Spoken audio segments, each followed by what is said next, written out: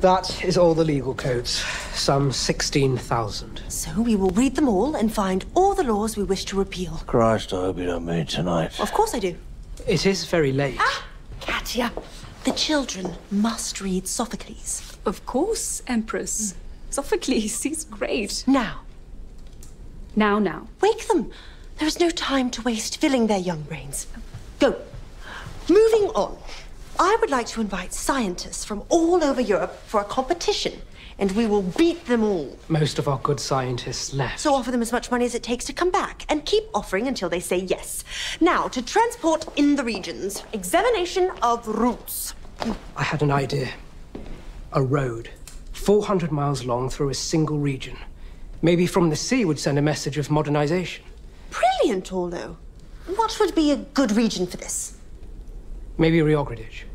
From sea to the farms to the cities, one road. I love it. Done. Well, that, that seems a good amount of work. I am not tired. We have a country to run, to transform. People spilt blood for us, and we will repay it with sweat and toil.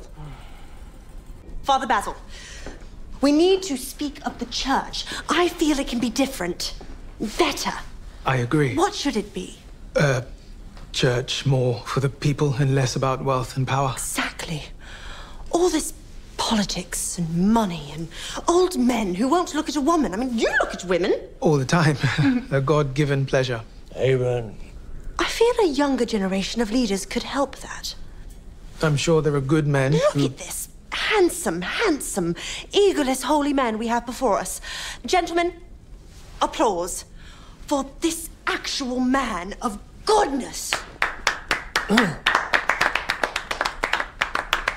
The Patriarch and the Archbishop of Court are usually two different people. The Emperor traditionally names his own Archbishop. That is one tradition I would like to keep. Father Basil, you are now my Archbishop at court. I am uh, overwhelmed and honored.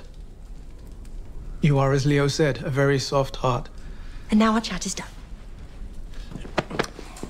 We will work for the good of the people. And perhaps we will have enemies in the church. And if we do, we will smite them down in a very Old Testament way.